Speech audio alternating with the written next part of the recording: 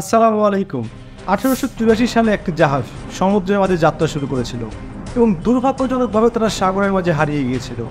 দীর্ঘ সংগ্রামের পর তারা নিজেরা বেঁচে থাকার জন্য তাদের এক সাথীকে হত্যা করেছিল। কিন্তু এই ঘটনা ছয়চল্লিশ বছর আগে, আঠারোশো আটত্রিশ সালে ডগার অ্যালন পায়ারের লেখা একটি উপন্যাসে পাওয়া গিয়েছিল। একই ছিল উপন্যাস এবং বাস্তবের জাহাজের কুয়ের সংখ্যা এবং উপন্যাসে হত্যার শিকার হওয়া ব্যক্তিটির নামের সাথে মিলে গিয়েছিল বাস্তবে হত্যার শিকার হওয়া ব্যক্তিটির নাম। কীভাবে ঘটে গেল সেই কাকতালীয় ঘটনা? দেখুন এই ভিডিওতে। আঠারোশো তিরাশি সালে অস্ট্রেলিয়ার আইনজীবী জ্যাক ওয়ান অবসর যাপনের জন্য ইংল্যান্ড হতে একটি জাহাজ কিনেছিলেন। কিন্তু সমস্যা ছিল অস্ট্রেলিয়া হতে ইংল্যান্ডের দূরত্ব প্রায় চব্বিশ হাজার কিলোমিটার। এই দূরত্ব অতিক্রম করার জন্য প্রয়োজন ছিল একদল দক্ষ নাবিকের। কেননা পালতোলা এই জাহাজটি গভীর সমুদ্র চলাচলের জন্য উপযোগী ছিল না।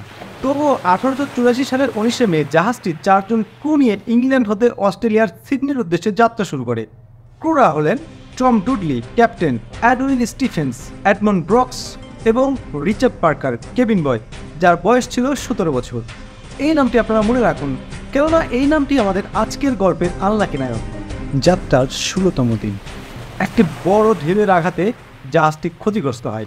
ক্যাপ্টেন ডুডলে তৎক্ষণাৎ বুঝতে পারেন জাহাজটি ধ্বংস হয়ে যাচ্ছে এবং সবাইকে চার মিটার লম্বা একটি লাইফ বোটে নেমে যাওয়ার নির্দেশ দিয়েছিলেন।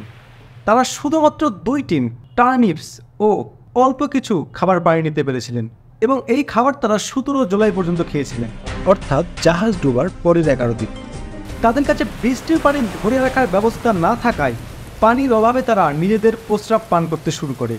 সাথে সমুদ্রের পানি পান করার জন্য রিচার্ড পার্কার এবং স্টিফেন্স অসুস্থ হয়ে পড়ে। সম্ভবত এই কারণে ক্যাপ্টেন ডুটলি বলেছিলেন তাদের মধ্যে একজন মারা যাওয়া ভালো যাতে অন্যরা বেঁচে যেতে পারে। কে মারা যাবে তার জন্য তাদের মধ্যে একটি লটারি হয়েছিল।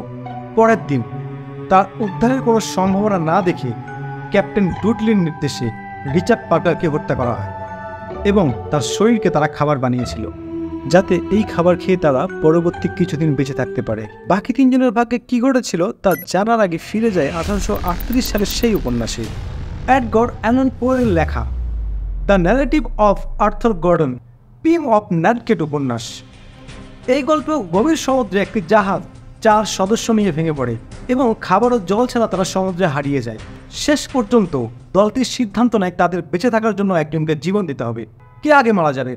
তা নির্ধারণ করার জন্য তাদের মধ্যে একটি লটারি হয়েছিল। কিন্তু দুর্ভাগ্যবশত লটারিতে যে নামটি উঠেছিল, তা হল রিচার্ড পার্কার।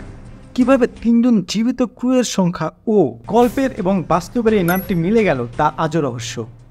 এই রহস্য রহস্য থেকে গেলেও বাস্তবের তিনজন কিন্তু রহস্য হতে মুক্ত হতে পেরেছিলেন। এই ঘটনার কিছুদিন পর তাদের উদ্ধার করা হয়েছিল। তাদেরকে উদ্ধারের পর দোষী সাব্যস্ত করা হয়েছিল এবং মৃত্যুদণ্ডের রায় দেওয়া হয়েছিল। সার্বিক দিক বিবেচনায় পরে তাদেরকে মুক্ত করে দেওয়া হয়। এরকম আরও ইনফরমেটিভ ভিডিও পাওয়ার জন্য চ্যানেলটির সাথেই থাকবেন। ধন্যবাদ।